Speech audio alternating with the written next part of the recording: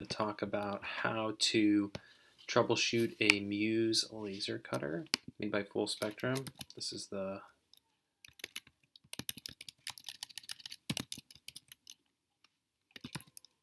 model we have. them go to their page real quick. Got this Hobby laser, the 45 watt version. It's pretty great overall.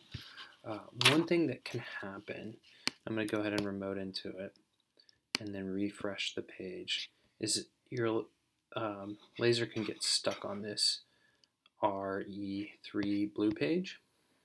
And um, currently, uh, this laser, you can't see it from this menu, but it's running uh, software version.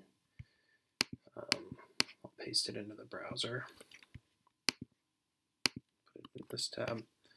Version 1.7.0-B is in Bravo, R is in Romeo 3.6. So it's a little older version.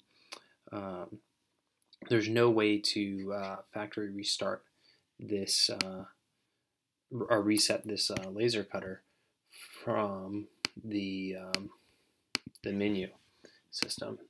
On newer um, newer ones, it is.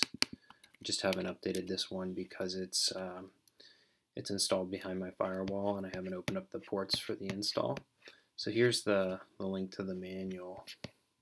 Anyway, if this happens to you, if you get stuck on this blue screen of death and you are um, you know, if you want to do the, and you are on the older operating system, you can go the nuclear option with the um, factory reset. This isn't in the manual, but as long as your, you know, your ports are open, you can run this command. Let me modify it a little bit. Put some X's in here, zero, zero.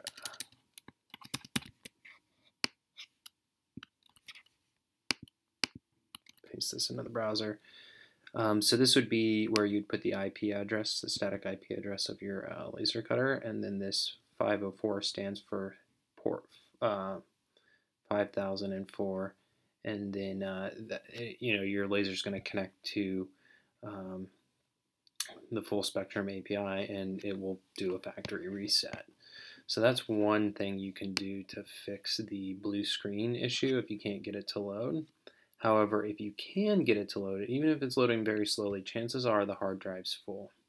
And so what you'll want to do is click on your projects, go File, Export Project File. So on Mac, that's Command Shift E, and just work slowly. Go through all your files and download all of them.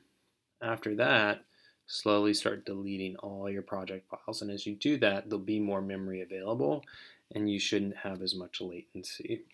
So that's the way I fixed the blue screen of death issue.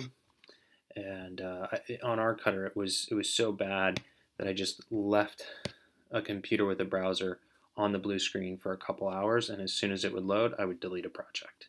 And then um, the more I deleted, the faster the connection got. So uh, just review the workflow. If you're stuck on the blue screen of death, with your Muse Hobby laser. Uh, you can do a factory reset. Uh, if you're on the newer version, you can do that from the menu, uh, or you can do it using this command, which isn't in the um, manual. Um, but I got it straight from the uh, tech support at Hobby.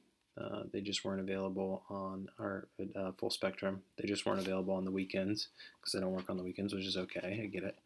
Um, and you know, the best option though is if you can get in, back up your projects by exporting your project files and then delete them one at a time. All right, hope this helps uh, with uh, folks looking to uh, better support their laser cutters. Thanks for watching.